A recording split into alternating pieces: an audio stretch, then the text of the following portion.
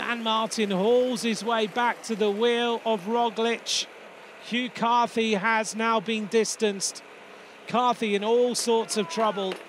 We can just see Carapaz not able to get comfy. He's on his drops, trying to uh, close the gap to Roglic. Then he's onto his tops, trying to get into the most comfortable position for uh, Carapaz in the red jersey. Sepp Kuss and Enric Mas going backwards. 30 seconds to Roglic. So Mas is fifth place overall, not in difficulty, but he's losing time. Another acceleration by the Ecuadorian. Richard Carapaz gets out the saddle. They re realise that Hugh Carthy is now behind, and another big attack by Primoz Roglic. It's like a match sprint between these two riders. Four hours, five minutes, and now Roglic goes clear again. Well, Roglic made that attack.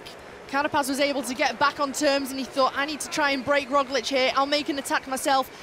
He wasn't actually able to gain any time at all, and uh, Roglic just playing with uh, Carapaz opens up more time, making it look easy as soon as he puts that acceleration down. And now Dan Martin just trying to haul his way back as Roglic gets out the saddle again. This rider is 30 seconds down on Carapaz. He needs the 10-second time bonus. Carapaz needs to limit the losses here. These two riders proving themselves the strongest in this welter. You wonder whether Hugh Carthy's attack was just a little bit too early. Maybe didn't realise how brutal this climb was going to be. Four hours and six and a half minutes just coming up. Primoz Roglic will turn the corner now and he will see the gantry in front of him across the road.